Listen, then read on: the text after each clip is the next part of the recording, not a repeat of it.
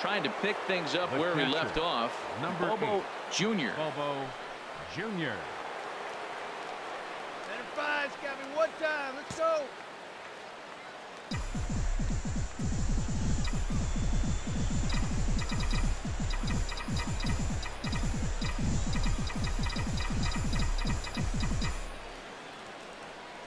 First pitch of the at-bat on its way. There's a swing and a drive hit well out to right field. Back goes Pence at the track. Up into the arcade and out of here.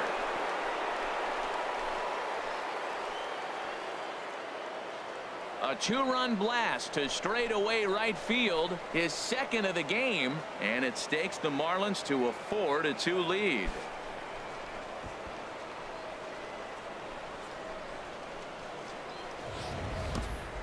Wow, nothing more demoralizing than giving up three home runs in the first three innings of a game.